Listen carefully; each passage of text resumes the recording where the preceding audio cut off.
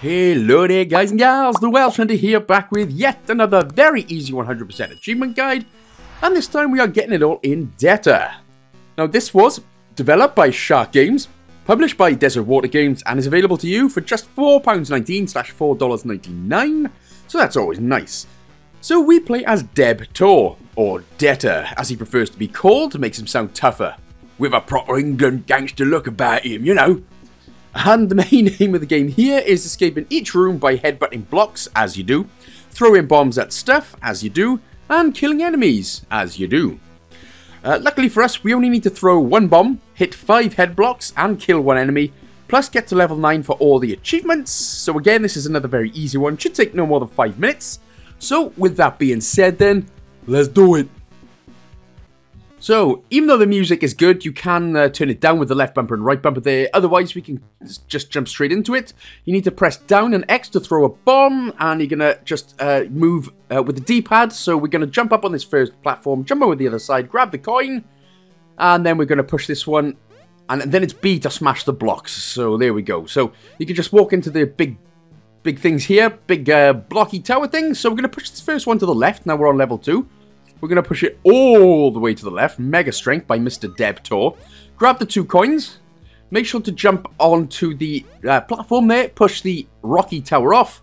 Push that one all the way to the right again. And obviously, just like you come to expect from uh, Desert Water published games, the achievements are going to pop like no tomorrow.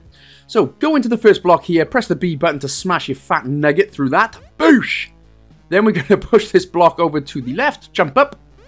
And we're going to push this one slightly to the right, and in fact, we are going to push it all the way down. So grab the coin from the left, push this one all the way down, jump up, grab the coin, go for the middle block, press the X button and down on the D-pad to get the bomb gone, and you'll get a couple of achievements now as well.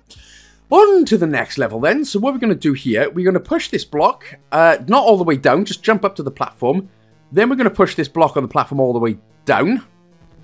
And then we're going to go back to the left, push this block all the way down, that's fine, then we're going to go ahead, grab the two coins, and now we can finish this level. I mean, the, the guy's forehead looks like a massive... Like he's had a few beat-ups from Phil Mitchell back in the day. It's the...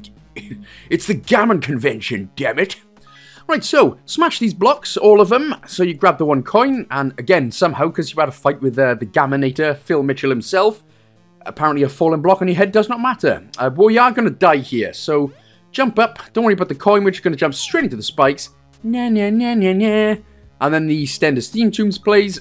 And you'll get that achievement there, so for dying. So again, smash all the blocks. Then we are going to just push this block all the way to the right once more.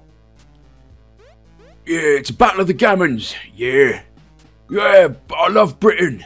Grab the two coins, jump over the spikes, of course, and then head for the exit. Job done. Right then, so for this level, what we're going to do, we're going to push this block, well, by the way, press the Y button if you ever need to restart. Uh, I did mess up twice here, so I left, left it too long, so uh, we'll try again. So, hey, with that edit, which I didn't edit, jump up quickly, and then just jump over to the next platform.